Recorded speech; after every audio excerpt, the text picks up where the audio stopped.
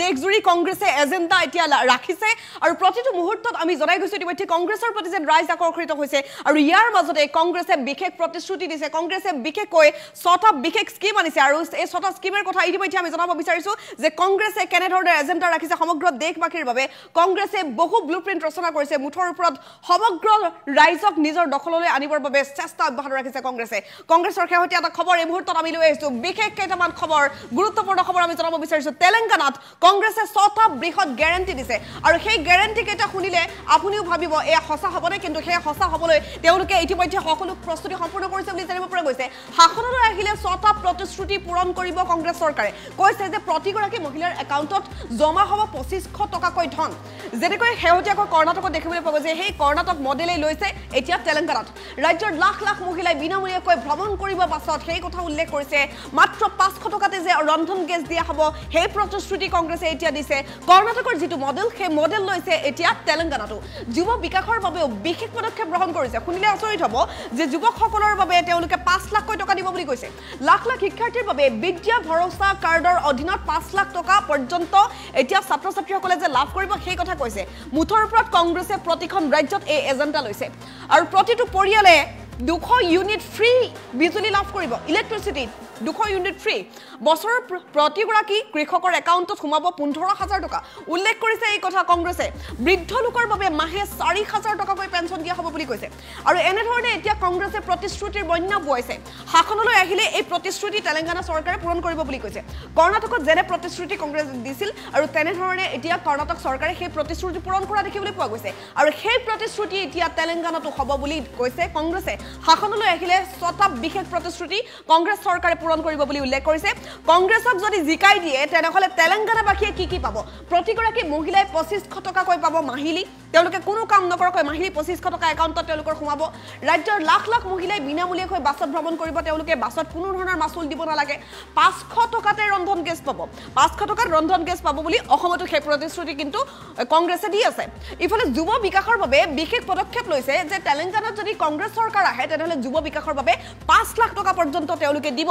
আৰু লাখ লাখ শিক্ষাৰ্থীৰ বাবে তেওঁলোকে বিদ্যা ভৰসা যিটো কাৰ্ড সেই বিদ্যা ভৰসা কাৰ্ডৰ অধীনত পাঁচ লাখ টকা পৰ্যন্ত প্ৰদান কৰিব বুলি প্ৰতিশ্ৰুতি দিছে। আৰু প্ৰতিটো পৰিয়ালে টু হাণ্ড্ৰেড ইউনিট ইলেক্ট্ৰিচিটি ফ্ৰীকৈ লাভ কৰিব ফ্ৰী টু হাণ্ড্ৰেড ইউনিট বিজুলী লাভ কৰিব বুলি কৈছে। বছৰত প্ৰতিগৰাকী কৃষকৰ একাউণ্টত পোন্ধৰ হাজাৰ টকা সোমাব বুলি কৈছে। প্ৰতিগৰাকী কৃষকে পোন্ধৰ হাজাৰ টকাকৈ লাভ কৰিব। বৃদ্ধ লোকৰ বাবে মাহে চাৰি হাজাৰ টকাকৈ পেঞ্চন দিয়া হ'ব বুলি কৈছে।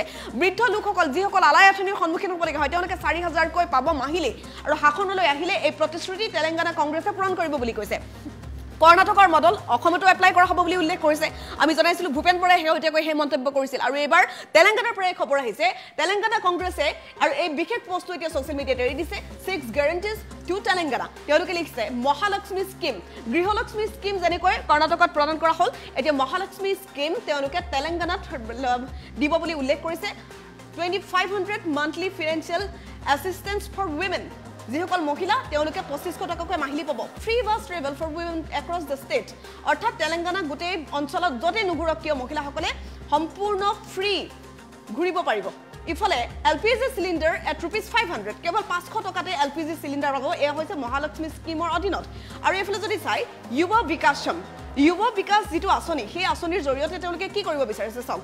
Five lakh rupees for students Vidya Bharosa card worth rupees five lakh for students Vidya Bharosa কাৰ্ডৰ অধীনত পাঁচ লাখ টকা প্ৰতিগৰাকী ছাত্ৰ ছাত্ৰীয়ে পাব বুলি উল্লেখ কৰিছে। Telangana international school in every mandal আৰু এই ক্ষেত্ৰত ইণ্টাৰনেশ্যনেল স্কুলৰ যি সুবিধাসমূহ সেই কথাও সেই প্ৰতিশ্ৰুতিও প্ৰদান কৰিছে তেলেংগানাত কংগ্ৰেছে। ইফালে গৃহজ্যোতি আঁচনিৰ অধীনত কি হ'ব? গৃহজ্যোতি অৰ্থাৎ ঘৰত অনবৰতে যাতে বিজুলী থাকে two hundred unit of free electricity for every household প্ৰতিগৰাকী লোকে সম্পূৰ্ণৰূপে টু হাণ্ড্ৰেড ইউনিট বিজুলী ফ্ৰী পাব। যেনেকৈ দেখিবলৈ পোৱা গৈছে দিল্লীত টু হাণ্ড্ৰেড ইউনিট বিজুলী ফ্ৰী সেয়া সকলোৱে জানে আম আদমী পাৰ্টীয়ে সেই বিশেষ যিহেতু সকলোকে লাভালাভ দিছিল সমগ্ৰ দিল্লীবাসীয়ে সেই কথা কয়। সেই শলাঘ প্ৰতিখন ষ্টেটত কিন্তু লোৱা দেখিবলৈ পোৱা যায়। আৰু সেনেধৰণে এতিয়া কংগ্ৰেছে বিশেষ স্কীম লৈছে। আৰু বৃদ্ধ লোকসকলৰ বাবে চাৰি হাজাৰ টকা প্ৰতিমাহে প্ৰদান কৰা হ'ব। এনেধৰণে ছটা বিশেষ প্ৰতিশ্ৰুতি প্ৰদান কৰিছে কংগ্ৰেছে। আৰু কৰ্ণাটকত দেখিবলৈ পোৱা গৈছিল কংগ্ৰেছে যেনেকৈ প্ৰতিশ্ৰুতি দিছিল সেই প্ৰতিশ্ৰুতি পূৰণ কৰা দেখিবলৈ পোৱা গৈছে। কৰ্ণাটকত যেতিয়াই কংগ্ৰেছৰ চৰকাৰ আহিল তেতিয়াই সেই প্ৰতিশ্ৰুতি পূৰণ কৰি গৃহলক্ষ্মী আঁচনি ৰূপায়ণ কৰা হৈছে। প্ৰতিগৰাকী মহিলাই দুহেজাৰ টকাকৈ পাইছে সমান্তৰালকৈ প্ৰতিগৰাকী মহিলাই এতিয়া লাভ কৰিছে বিশেষ সুবিধা। বিশেষকৈ বাছত তেওঁলোকে ফ্ৰীকৈ ঘূৰিব পাৰিছে। আৰু সেই স্কিমেই বৰ্তমান লোৱা হৈছে। কৰ্ণাটক মডেলে এতিয়া এপ্লাই কৰিছে তেলেংগানাতো আৰু লগতে এই মডেল অসমতো এপ্লাই কৰা হ'ব বুলি ভূপেন বৰায়ো শেহতীয়াকৈ মন্তব্য কৰিছিল। প্ৰতিগৰাকী মহিলাই পঁচিছশ টকাকৈ লাভ কৰিব। মাহিলী কোনো কাম নকৰাকৈ ৰাজ্যৰ লাখ লাখ মহিলাই বিনামূলীয়াকৈ বাছত ভ্ৰমণ কৰিব পাৰিব। তেওঁলোকে বাছত উঠিলে এক টকাও দিব নালাগে। ফ্ৰীকৈ ঘূৰিব পাৰিব। ইফালে ৰন্ধন গেছ কেৱল মাত্ৰ পাঁচশ টকাতেই দিয়া হ'ব বুলি উল্লেখ কৰিছে। যুৱ বিকাশৰ বাবে তেওঁলোকে পাঁচ লাখ টকাকৈ প্ৰদান কৰিব বুলি কৈছে। যিসকল বৃদ্ধ লোক আছে তেওঁলোকে মাহে চাৰি হাজাৰ টকাকৈ লাভ কৰিব ভাবক। এনেধৰণৰ প্ৰতিশ্ৰুতি দিছে। আৰু এই প্ৰতিশ্ৰুতি যদি পূৰণ কৰে যেনেকৈ কৰ্ণাটকে প্ৰতিশ্ৰুতি পূৰণ কৰিলে কংগ্ৰেছে যদি এই ছটা গেৰাণ্টি দিছে তেনেহ'লে এইকেইটা গেৰাণ্টি যদি পূৰণ কৰে সঁচাকৈয়ে তেলেংগানাত এইবাৰ কংগ্ৰেছৰে চৰকাৰ আহিব নেকি? তাক লৈ কিন্তু এতিয়া চৰ্চা আৰম্ভ হৈছে। কাৰণ শেহতীয়াকৈ কৰ্ণাটকৰ পৰিস্থিতি সকলোৰে হয়তো মনত আছে। কৰ্ণাটকত যেতিয়া কেম্পেইনিং চলি আছিল সেই সময়ছোৱাত কিন্তু মোদীৰ সভাটো ৰাহুল ৰাহুল শ্লোগান শুনিবলৈ পোৱা গৈছিল। শেহতীয়াকৈ ৰাহুল গান্ধীৰ জনপ্ৰিয়তা যথেষ্ট বৃদ্ধি পাইছে। কংগ্ৰেছৰ প্ৰতি যেন মানুহ এতিয়া আকৰ্ষিত হৈছে। সেই দৃশ্য দেখিবলৈ পোৱা গৈছে কংগ্ৰেছে যেন নিজৰ উত্থান এতিয়া অব্যাহত ৰাখিছে আৰু সেই উত্থানৰ বাবে এনেধৰণৰ প্ৰতিশ্ৰুতিৰ বন্যা বোৱাই গৈছে কংগ্ৰেছে।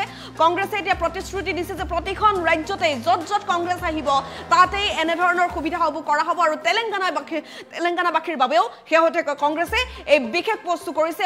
Congress six guarantees to Telangana Mahalakshmi scheme twenty five hundred monthly financial assistance for women পঁচিছশ টকাকৈ প্ৰতিগৰাকী মহিলাই পাব দুশ ইউনিট ফ্ৰী বিজুলী লাভ কৰিব। প্ৰতিগৰাকী কৃষকৰ একাউণ্টত পোন্ধৰ হাজাৰকৈ টকা সোমাব। বৃদ্ধ লোকসকলে বৃদ্ধ পেঞ্চন পাব চাৰি হাজাৰ টকাকৈ। সমান্তৰালকৈ ছাত্ৰ যিসকল আছে ছাত্ৰ ছাত্ৰীসকল তেওঁলোকে যুৱ বিকাশম আঁচনিৰ অধীনত পাঁচ লাখ টকা পৰ্যন্ত লাভ কৰিব বুলি জানিব পৰা গৈছে। আৰু এইদৰে প্ৰতিশ্ৰুতিৰ বন্যা বোৱাইছে এতিয়া কংগ্ৰেছে। ছটা গেৰেণ্টি তেলেংগানাতো দিছে। আৰু এনেধৰণৰ গেৰেণ্টি শেহতীয়াকৈ অসমতো কংগ্ৰেছে দিয়া দেখিবলৈ পোৱা গৈছিল। আৰু এইদৰে এতিয়া কংগ্ৰেছে প্ৰতিশ্ৰুতিৰ বন্যা বোৱাই আছে সমগ্ৰ দেশতে।